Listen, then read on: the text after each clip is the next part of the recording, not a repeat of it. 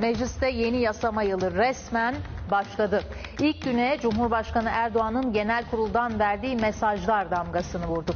Suriye başlığı ve güvenli bölge üzerinden Amerika'ya seslenen Erdoğan artık sabrımız taşıyor derken Fırat'ın doğusu için harekat hazırlığı da başladı. Türkiye'nin artık bu konuda kaybedecek tek bir günü dahi yoktur. Kendi yolumuzda devam etmekten başka çaremiz kalmamıştır. Amerika'ya güvenli bölge için verilen süre dolarken mesajı böyle netti. Mecliste yeni dönemin açılış gonguyla birlikte Fırat'ın doğusuna operasyon içinde düğmeye basıldı. Türkiye kendi güvenliğini ve kardeşlerinin geleceğini bölgede hesabı olan güçlerin keyfine terk edecek değildir. Birlikte çalışma imkanlarını sonuna kadar zorlarız. Ama bu mümkün değilse de kendi yolumuzu açarız. Nitekim şu anda açmaya da başladık. Yeni yasama yılı özel oturumla açılıyor. Cumhurbaşkanı Erdoğan genel kurula seslenecek. Vereceği mesajlar merakla beklenirken Erdoğan Türkiye Büyük Millet Meclisi'nde. Genel kurul salonunda AK Parti ve MHP'li milletvekilleri tarafından ayakta alkışlarla karşılandı Cumhurbaşkanı. CHP'liler yerinden kalkmadı. İyi Partili vekiller ayaktaydı ama Erdoğan'ı alkışlamadılar.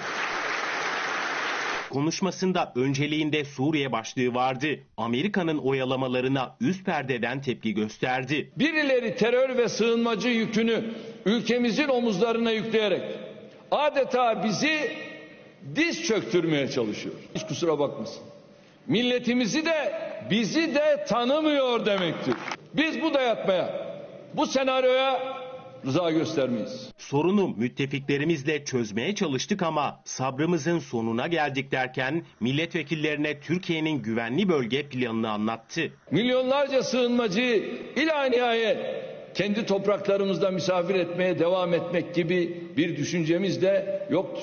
30 kilometre derinliğindeki güvenli bölgede 1 milyonu yeni yerleşim yerlerinde 1 milyonu mevcut yerlerde olmak üzere 2 milyon kişiyi iskan etmeyi planlıyoruz. O plan 3,5 saat süren Milli Güvenlik Kurulu toplantısında da masadaydı.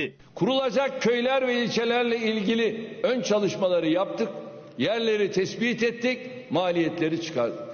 Yayınlanan bildiride Suriyeli sığınmacıların bir an önce evlerine dönmesi için güvenli bölge projesinin ileri adımlarla güçlendirileceği vurgulandı. Milli güvenliğin sağlanması için gereken iradeyi ortaya koymakta tereddüt edilmeyecektir vurgusu dikkat çekti. Erdoğan'a meclisten ayrılırken Fırat'ın doğusuna harekatın ne zaman olacağı da soruldu. Bir gece ansızın gelebiliriz.